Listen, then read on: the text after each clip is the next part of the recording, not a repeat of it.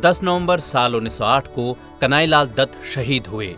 वे भारतीय स्वतंत्रता संग्राम के क्रांतिकारी थे। युगांतर नाम से क्रांतिकारियों की गुप्त संस्था के माध्यम से कनाईलाल क्रांतिकारी गतिविधियों में सक्रिय हो गए।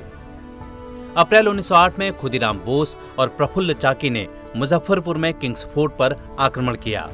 इसी सिलसिले में मई 1908 को ही कनाईलाल दत्त अरविंद घोष, बारिंद्र कुमार समेत अन्य क्रांतिकारियों को गिरफ़्तार किया गया। इस घटना के दौरान उन्होंने जेल के अंदर एक मुखबिर की हत्या की, जिसके तहत कनाईलाल दत्त पर हत्या का मुकदमा चला और अंत में आज ही के दिन कनाईलाल को फांसी की सजा दी गई और वे देश के लिए शहीद हो गए। 10 नवंबर साल 1920 को दत्तोपंत ठेंगड़ी का जन्म महाराष्ट्र के वर्धा में हुआ। वे भारत के राष्ट्रवादी ट्रेड यूनियन नेता, भारतीय मजदूर संघ, स्वदेशी जागरण मंच और भारतीय किसान संघ के संस्थापक थे। साल उन्नीस सौ उनचास में अखिल भारतीय विद्यार्थी परिषद की स्थापना की औपचारिक घोषणा की गई। दत्तोपंत को विद्यार्थी परिषद के संस्थापक सदस्य और नागपुर विदर्भ के प्रदेशाध्यक्ष के नाते ज़िम्मेदारी दी गई।